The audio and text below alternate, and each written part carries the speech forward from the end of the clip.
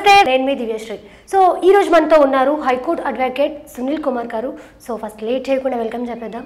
నమస్తే సార్. నమస్తే ఎలా ఉన్నారు? I'm good how are you yeah I'm super good sir ఇల్లు రెంట్లకు ఇచ్చేటప్పుడు ఎలాంటి జాగ్రత్తలు తీసుకోవాలంటారు? ఇల్లు అయినా భూమి అయినా రెంట్కో కౌలుకో ఇచ్చేటప్పుడు కాగితం మీదనే ఇవ్వాలి. ఓకే. చాలామందికి ఏంటంటే కాగితం రాసిస్తే హక్కులు పోతాయి అనుకుంటారు. కాగితం రాసిస్తేనే భద్రంగా ఉంటాయి.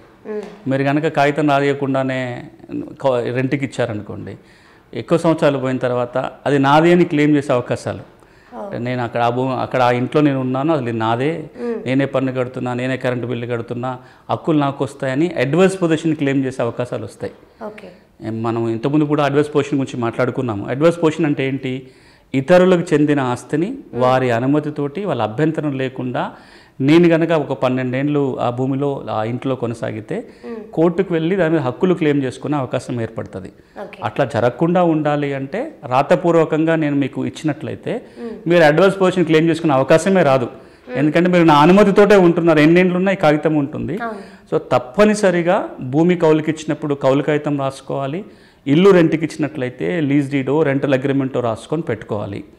అది కూడా ఆ అగ్రిమెంట్ రాసుకునేటప్పుడు కొన్ని కనీస జాగ్రత్తలు. ఎవరైతే రెంట్కి ఇస్తున్నామో వాళ్ళ వివరాలు వాళ్ళ ఆధార్ కార్డు ఇతర వివరాలు నమోదు చేసుకొని చేసినట్లయితే ఇతరత్ర కూడా లీగల్గా ఇబ్బందులు రాకుండా ఉంటాయి. ఇప్పుడు మనం పట్టణాల్లో చూస్తుంటాము ఎవరో తెలియని వాళ్ళు వచ్చి మన ఇంట్లో రెంటుకుంటారు. ఆ తర్వాత వాళ్ళు ఏమైనా క్రిమినల్ యాక్టివిటీలో ఇన్వాల్వ్ అయితేనో యాంటీ సోషల్ యాక్టివిటీస్లో ఇన్వాల్వ్ అయితే యజమానికి కూడా ఇబ్బంది వచ్చే పరిస్థితి మీరు ఎట్లా రెంట్కి ఇచ్చారు అనేది. అదే మనకు చట్టబద్ధంగా ఒక అగ్రిమెంట్ ఉండి వాళ్ళ ఐడెంటిటీకి సంబంధించిన డాక్యుమెంట్స్ తీసుకొని కనుక చేసుకున్నట్లయితే భద్రత ఉంటుంది. ఇక్కడే మనకు అపోహలు. నేను మొదట్లో అన్నట్టుగా కాగితం రాసిస్తేనే ఇబ్బంది అవుతుందో కాగితం మీద మన ఆధారం పెడితే వాళ్ళు ఇంకేమైనా హక్కులు పొందుతారేమని. ఆ భయం రావడానికి కూడా అవకాశం కారణం ఉంది. తెలంగాణలో భూములకు సంబంధించి ఎప్పుడెప్పుడైతే ఈ కౌలు కాగితాలకు ఎక్కిందో దానివల్ల భూ యజమానులు భూములు కోల్పోవాల్సిన పరిస్థితి ఏర్పడింది. తెలంగాణలో ఒక ప్రత్యేకమైన పీరియడ్లో ఎవరైతే కౌలుదారుగా నమోదై ఉన్నాడో వాళ్ళందరినీ భూ యజమానుల కింద ప్రభుత్వం ప్రకటించింది. అది అప్పటి నేపథ్యం. ఆ భయం ఉంది కాబట్టి జనరల్గా భూ యజమానులు ఏ రికార్డులో రాకుండా ఏ కాగితం లేకుండా చూసుకునే ప్రయత్నం చేస్తారు. ఇప్పుడు చట్టాలు మారినాయి రోజులు మారినాయి కాబట్టి అగ్రిమెంట్ కుదుర్చుకొని కౌలుకు కానీ రెంట్ కానీ ఇవ్వటం మంచిది. అంతకు భయాలు ఉన్నట్లయితే ఒక కాపీ మీ దగ్గరే పెట్టుకోవచ్చు. వాళ్ళకి కాపీ ఇవ్వకుండా కనీసం ఎవరైతే యజమాని ఉన్నారో వాళ్ళ దగ్గర అగ్రిమెంట్ కాపీ ఉండాలి. సార్ ఇప్పుడు ఆస్తి ఉండి దానికి వారసులు లేకపోతే దాని హక్కుదారులు ఎవరంటారు? దానికి ఒక చట్టం ఉంది.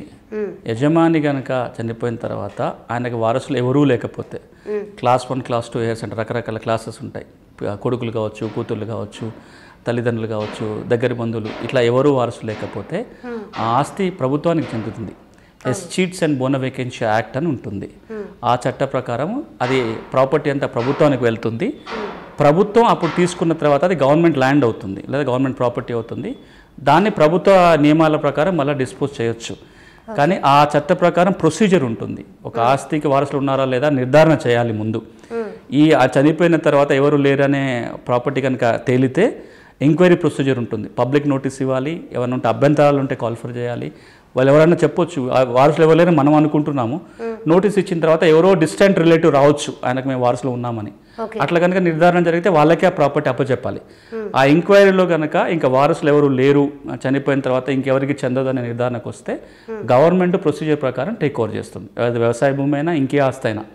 జనరల్గా వ్యవసాయ భూమి అయితే కనుక గవర్నమెంట్ ల్యాండ్ కింద పరిగణించేసి అసైన్మెంట్ చేస్తారు. భూమి లేని పేదలకు పంచే కార్యక్రమం ఉంటుంది. అదర్వైజ్ గవర్నమెంట్ ప్రాపర్టీ గవర్నమెంట్ నియమాల ప్రకారం ఎట్లయినా వాడుకోవచ్చు. Thank you sir. Thank you so much for interview. మా కోసం ఇంత బాగా ప్రతి ఒక్కటి ఎక్స్ప్లెయిన్ చేసినందుకు thank you thank you very much so ఇది ఈరోజు ఇంటర్వ్యూ సో నెక్స్ట్ ఇంటర్వ్యూలో మళ్ళీ కలిసి కలుసుకుందాం. అంటే టేక్ కేర్ బాయ్